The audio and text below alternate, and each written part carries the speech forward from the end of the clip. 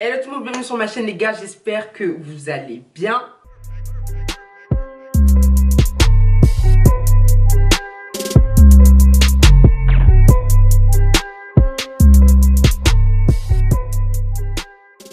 Moi ça va, on se retrouve pour une nouvelle vidéo, ça va être une story time. Je sais que vous aimez bien les story time par ici.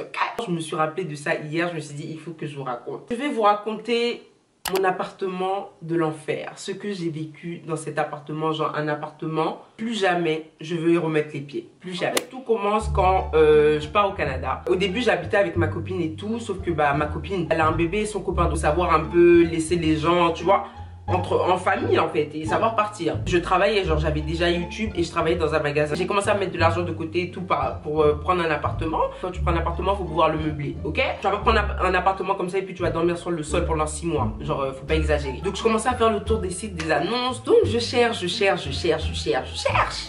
Et euh, je tombe sur plein d'annonces. J'appelle, ah non, il est déjà pris. J'appelle, ah il est plus disponible. J'appelle, ah non, finalement, ah non, non, non.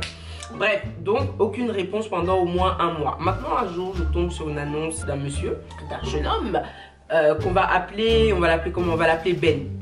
je sais pas pourquoi Ben. Bref, je contacte Ben, je dis oui et tout, je suis intéressée par le studio, tout ça, tout ça, j'aimerais venir visiter si c'est disponible appelez-moi. Quelques heures après, mon téléphone sonne et effectivement, qui c'est C'est Ben. Je parle avec Ben et tout et tout. Il me dit que oui, l'appartement est situé là. Je demande s'il y a les transports à côté. Il me dit oui. Je demande euh, le loyer. Il me dit le loyer. Enfin, il me donne toutes les informations dont j'avais besoin et j'étais intéressée. J'ai besoin de passer pour voir en fait l'appartement. Ben me dit ok, pas de souci. Viens tel jour, à telle heure. Donc j'arrive. Donc je rentre dans l'immeuble et tout machin. Je rentre dans l'appartement de Ben. L'appartement de Ben, au premier abord, c'est trop rempli. Tu vois, genre en fait, bon après ça c'est sa décoration, c'est lui, tu vois. Moi je me suis dit quand je vais rentrer, je vais enlever tout ça. Euh, de toute façon quand il va partir, il va enlever tout ça. Et puis j'aurai beaucoup d'espace pour pouvoir faire mes trucs, tu vois. Ben me fait visiter. Il faut savoir que ça a été une visite genre vraiment rapide. Parce que c'était un studio, mais le studio était quand même grand. Si j'ai des vidéos, je vais vous mettre des vidéos. Le studio était quand même grand, genre il y avait euh, un grand salon, un grand espace salon et tout. Bonne petite cuisine, salle de bain, un bon petit espace chambre, genre un espace pour la chambre entre guillemets parce que c'est un studio. Mais genre tout était bien délimité, tu vois, et j'aimais bien, il y avait un grand balcon et tout ça, c'était cool. Et puis j'étais au rez-de-chaussée. Très important, j'étais au rez-de-chaussée. Jusque là tout se passe bien. Je regarde un peu euh, l'état des murs, euh, je vérifie les robinets, je vérifie un peu dans la salle de bain. Mais en fait, le truc c'est que quand tu vas visiter une maison, tu dois regarder globalement. Tu vas pas commencer à, à déplacer les meubles de la personne et tout pour regarder dans les coins du mur, mettre ton doigt Enfin non, tu vois, tu regardes globalement et si ça te plaît, tu prends, ça te plaît. Si ça te plaît pas, tu laisses. Donc la visite se passe bien. Ben, euh, il veut vraiment partir de cet appartement-là, bizarrement. Moi, je suis très intéressée. Je suis, prête à prendre l'appartement, genre maintenant, maintenant, genre là, tout de suite, tu vois. Donc il a dit ok, y a pas de problème. Il m'a dit si tu veux, je peux te laisser quelques meubles, euh, mais tu payes, tu vois. J'ai dit y a pas de problème, moi ça m'arrange et tout, puisque ça sera moins cher du coup. J'ai pris le lit, le contour du lit là, avec les pieds, tout ça, tout ça. J'ai gardé ça, j'ai gardé le fauteuil, parce que le fauteuil était super grand, même s'il était pas beau. Il était pas beau, mais il était grand. Je me suis dit pour un début, je vais me débrouiller avec ça, c'est pas grave. J'ai bien demandé, il y a pas de problème de cafard Non, il y a aucun problème, il y a pas de problème de... Enfin, il y a pas de problème. Tout, tout, tout est bien. Il me dit non, t'inquiète, c'est un appartement qui est super. Enfin bref, il vend son truc, tu vois. Le jour où il a libéré l'appartement, il m'a remis les clés. Et j'étais tellement pressée d'aménager, j'étais trop contente. Je commence à envoyer mes affaires chez ma copine à l'appartement. Genre, elle m'aide et tout, on prend les affaires, je commence à déposer les trucs. Mais je dormais pas encore là-bas parce que, vas-y, euh, il y avait trop de cartons, trop de sachets, trop de, trop de choses. La nuit, j'allais chez ma pote et le lendemain matin, je revenais pour faire le ménage petit à petit. Je viens un matin pour faire le ménage et moi, en fait, je me dis, j'arrive dans une nouvelle maison. Il y a quelqu'un qui a vécu là pendant euh, des mois ou peut-être des années. Donc ça veut dire que en fait, il faut que je nettoie tout en fait. Mais genre vraiment tout, tout, tout. Les sols, les murs, la salle de bain, les placards. Il faut que je nettoie tout très très très minutieusement. Comme ça, je sais que je peux m'asseoir partout, je peux poser mes fesses partout, je peux me coucher partout. Tout est propre, tu vois. Je commence à faire le ménage et je commence par la cuisine. J'ouvre les placards. Vous savez, dans la cuisine, là, il y a des placards en bas, là. J'ouvre les placards. Et je me rends compte que je vois des petits trucs noirs. Plein de petits trucs noirs, genre des petites saletés noires, noires, noires, noires, noires. C'est pas collé, hein. C'est pas collé au mur du placard. Mais c'est éparpillé dans le placard. Vu que j'avais mes gants pour faire le ménage, je prends un truc noir, je regarde, je me dis, oh, mais ça, ce truc-là m'a l'air familier. Ça ressemble à une crotte de souris. Parce que je sais à quoi ça ressemble. Mais ça ressemble à une crotte de souris là. Et à partir de ce moment-là, mon cœur a commencé à battre. Quand j'ai fait la visite, quand j'ai ouvert les placards, il avait déjà toutes ses affaires et tout. Enfin, il avait ses boîtes de conserve, euh, ses casseroles et tout. Donc bon, je pouvais pas vraiment voir et tout ce qu'il y avait au fond des placards et tout machin. Enfin, tu vois ce que je veux dire? J'allais pas lui demander, vas-y, pousse tes casseroles, tout ça. Abuse pas. Elle va lui dire, vas-y, prends ta casserole, déplace-la à gauche et tout, laisse-moi. Ben non, oui, chef, baby. Je prends encore un autre. Et il y en avait beaucoup, hein. Il y en avait beaucoup. Je prends encore un autre, je regarde. Ah, c'est encore ça. Je dis, attendez, euh, attends, attends, attends, attends. Ben, qu'est-ce que tu me fais là? Parce que tu m'as pas précisé ça. Les rongeurs, en fait, quand je dis que c'est ma phobie, genre, c'est vraiment une phobie pour moi. Moi, je suis pas le genre de meuf, dès que je vais voir euh, un cafard ou une araignée, je vais, je vais je vais commencer à crier partout et tout. Non, ça, je m'en fous, ça, c'est rien. Tu tapes juste avec la chaussure et puis elle meurt et puis c'est fini, tu vois. Mais les rongeurs, en fait, je peux même pas regarder une photo de ça tellement que j'ai peur. Et puis, c'est même pas pour exagérer. Les gars, j'ai vraiment vraiment peur de ça. Je sais pas moi, c'est trop bizarre, genre ça, ça, court vite, ça fait du bruit, c'est sale et tout. Enfin bref, c'est un truc qui me dégoûte vraiment et qui me fait super peur. Donc quand j'ai vu ça, je me suis dit putain, j'ai tout nettoyé bien de fond, tout comme j'ai vraiment tout lavé, les placards, tout, tout, tout, tout, tout. J'attaque le côté chambre et comme je vous ai dit, j'ai gardé les pieds du lit, euh, enfin le contour du lit là, je sais pas comment on appelle ça. Donc maintenant je déplace je déplace le lit, pouvoir balayer en bas, passer la serpillère en bas du lit et tout, tout machin pour que tout soit propre. Les gars, je prends le balai. Je passe le balai comme ça, genre une seule fois hein, comme ça. Il y a une tonne de crottes de souris sous le lit de Belle. Une tonne. Et c'était la même chose qu'il y avait dans les placards de la cuisine. Je continue à balayer, la quantité augmente. Je balaye, la quantité augmente. Je balaye, la quantité augmente. Donc là, en fait, quand je vois ça, je pète un plomb et je commence à pleurer. En fait, je commence à pleurer parce que je me suis dit, mais attendez, mais Iben, attends, j'ai été super gentil avec toi. genre, je comprends pas pourquoi tu m'as pas dit ça, en fait. Je prends mon téléphone, je contacte Ben. Je dis, Ben, t'es très gentil, mais en fait, est-ce qu'il y avait des souris ou des rats quand tu habitais ici Il me dit, ben non, pourquoi? Je dis, non, mais je sais pas parce que je suis en train d'essayer de nettoyer un peu. Je passe le balai un peu partout et euh, il y a beaucoup, beaucoup, beaucoup de crottes de souris, mais tu m'as pas dit. Parce que si tu m'avais dit jamais de la vie, j'allais prendre, tu vois. Il m'a dit, mais non et tout, euh, enfin, il y a pas, il y a jamais eu ça, t'inquiète pas, l'appartement est super propre, même un cafard, il y a pas, tout ça, tout ça. Peut-être que c'était là, peut-être que c'était là avant que j'aménage. Pourtant, ça fait des mois que tu habites là. Ça veut dire que pendant des mois, tu jamais nettoyé tes placards de la cuisine? T'as jamais nettoyé sous ton lit? Enfin, je sais pas. Euh, wesh, je comprends pas. Ça veut dire que là, si je pousse le fauteuil, je sais pas, il y aura quoi en bas? Moi, j'ai super peur en fait. Donc, il me dit non et tout, euh, t'inquiète pas, c'est rien. Peut-être que c'était les gens avant moi, mais en tout cas, moi, depuis que je suis là, j'en ai jamais vu, tu vois. Je dis ok, pas de souci. Donc, je raccroche et je commence à pleurer parce que je me dis, Sarah, dans quoi tu t'es embarquée? Tu as déjà signé tous les documents tu es déjà là, tu as déjà commandé les, les, miroirs, les ceci, les cela, bref, tu as déjà fait grand chose. Donc là, tu peux pas retourner en arrière. Mais comment je vais faire en fait avec une maison où il y a des crottes de souris partout? Je fais comment?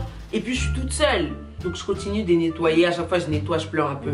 Je nettoie, je pleure un peu. Pendant que je nettoyais, je cherchais des trous parce que apparemment, enfin forcément, si tu as des souris chez toi, ça veut dire qu'il rentre, il rentre quelque part. Il y a forcément un endroit où il, part, où il passe. Partout, je nettoyais, je regardais s'il n'y avait pas un petit trou dans le mur ou une petite, un petit truc, genre une petite entrée ou je sais pas.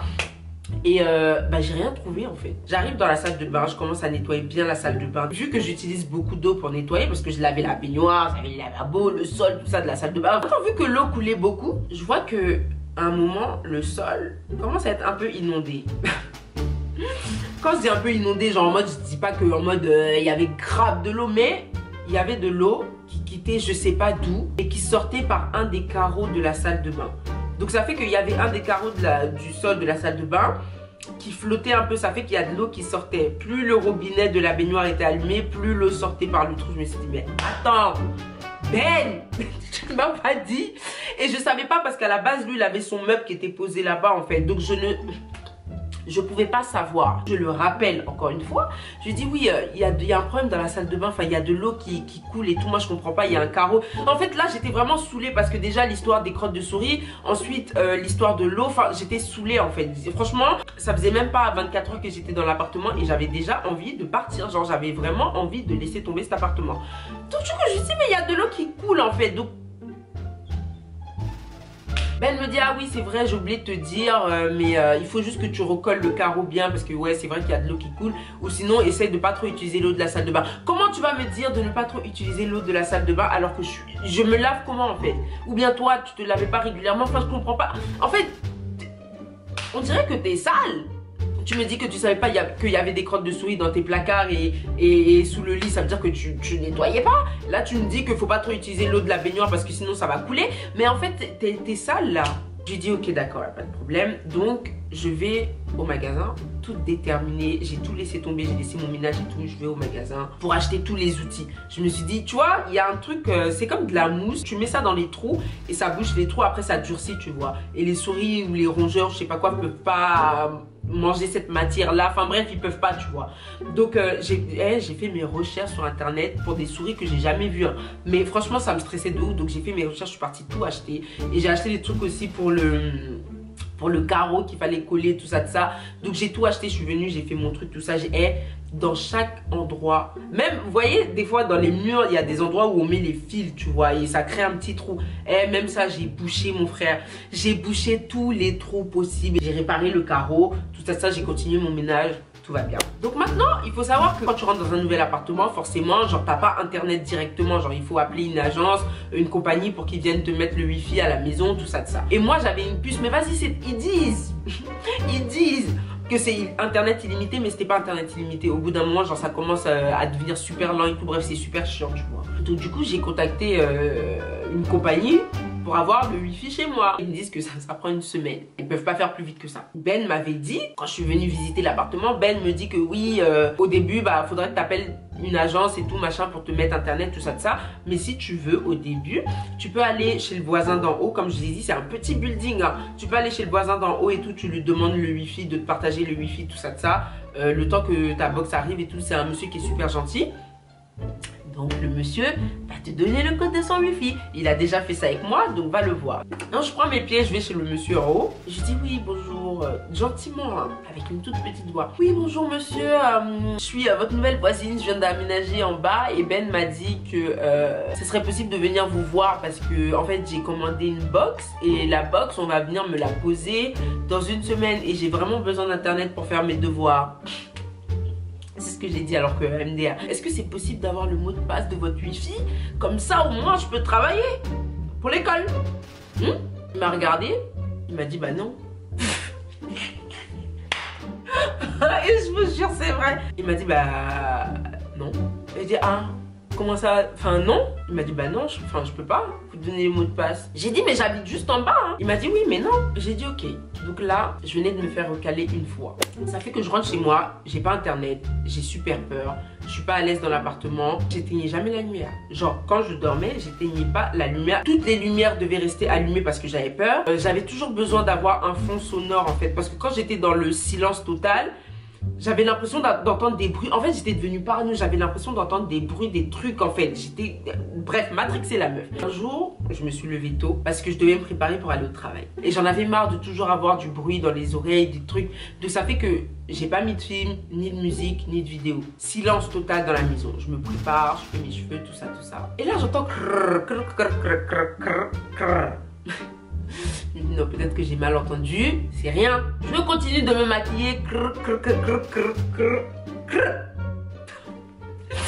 je me dis, attends, mais ça c'est quoi? Et le bruit continue en fait. Il y a quelque chose qui continue de faire du bruit, mais je ne sais pas c'est quoi et je sais pas d'où ce bruit-là vient. J'entends, mais j'entends ça vers l'entrée de la maison, genre la porte principale. Je me rapproche et en fait le bruit venait du mur. J'essaie de mettre un peu ma tête comme ça effectivement les bruits viennent du mur. Si il y a quelque chose qui gratte dans le mur, ça, veut dire que la chose veut rentrer. La chose essaye de faire un trou pour rentrer. Donc ça veut dire à tout moment, je sais pas moi, il y a peut-être une ouverture peut-être quelque part que j'ai oublié de, de, boucher et ils vont creuser un gros trou et ils vont rentrer en fait. Donc je suis partie au travail. Le soir, je rentre et je contacte Ben. Je l'appelle. Je lui dis oui, euh, excuse-moi Ben, mais là, il y a un petit problème. Euh, j'entends des trucs qui grattent dans le mur. Et franchement, fallait me dire tout ça. Et là, j'étais vraiment énervée. Je lui dis, mais fallait me dire tout ça parce que tu m'as pas J'étais au courant de rien en fait, tu m'as rien dit. Je t'ai bien demandé s'il y avait des, animaux dans la maison qui traînaient, tu m'as dit non. Là, j'entends des trucs, donc tu expliques en fait. Même s'il expliquait, ça n'allait rien changer. Mais genre, explique-moi, oui. Elle me dit, ah oui, non, ça arrive, des fois, euh, il y a des, souris euh, qui grattent dans le mur et tout, mais t'inquiète pas, ils rentrent pas dans la maison. Non, mais attendez, putain. Donc, je suis dans un appartement. Je rentre déjà, il y a grave des crottes de souris. De deux, il y a les souris qui grattent dans les murs. Le voisin ne veut pas me donner son wifi. Le carreau de la douche que j'ai dû réparer. Enfin, c'est trop. Je lui dis, donc qu'est-ce que je dois faire? Elle me dit, non, mais ça, il n'y a rien à faire et tout. T'inquiète pas. Mais moi, je m'inquiète. le problème, c'est que moi, je m'inquiète. Moi, j'ai peur. Après avoir parlé avec Ben, je décide encore une fois, grosse forceuse, d'aller voir le voisin d'en haut pour lui demander. Parce que je voulais prendre des renseignements, en fait. Je voulais savoir si dans le bâtiment, il y avait des souris, s'il y avait des trucs, des rats, ou je sais pas. Je voulais savoir, en fait.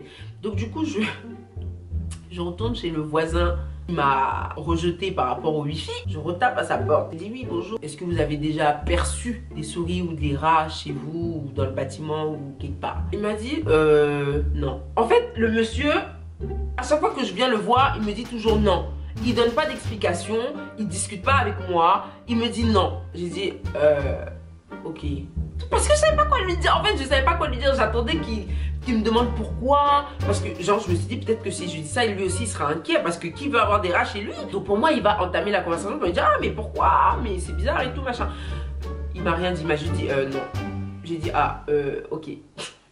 Donc du coup, je suis partie, je suis rentrée. Donc le temps passe. Il faut savoir que, hey, j'arrivais pas à rester chez moi toute seule. J'avais toujours de la compagnie. Je mes potes de venir dormir chez moi, de venir passer quelques jours chez moi, mais je disais jamais pourquoi, tu vois. Et plus les jours passent, et plus j'entends des bruits. Sauf que c'est dans des endroits différents en fait. Un coup, c'est dans le mur, à côté de la porte principale. Un coup, c'est dans les placards. En fait, j'entends des bruits, des trucs qui grattent dans le mur. J'entends des souris qui grattent dans le mur, des souris qui courent. Et je vous promets, c'est grave désagréable en fait. Parce que t'es là comme ça, et t'entends... Ou bien t'entends... En fait, c'est trop bizarre. Ici, il y a le placard. Là, il y a le mur, tu vois. Là, il y a le placard. Elle courait pas dans le placard. Elle courait dans le mur collé au placard. Tu vois ce que je veux dire? C'est exactement ce bruit-là que ça faisait regarder.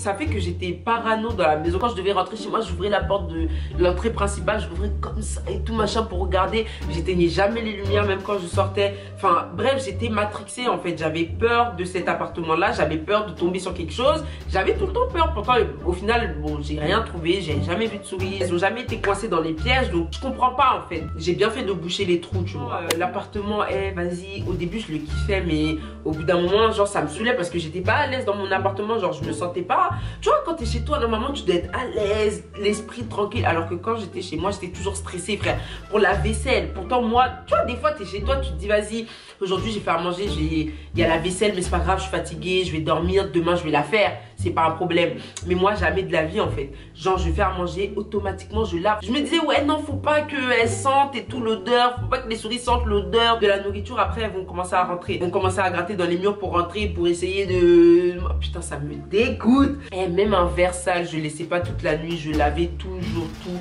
tout le temps en train de faire le ménage à chaque fois. En fait, c'est un truc de ouf parce que ça devenait trop. Moi, j'ai plus supporté les bruits dans le mur. En plus de ça, en fait, les murs étaient super fins. Ça fait que tout ce que le voisin d'en haut, il faisait, j'entendais. Je vais vous mettre une vidéo.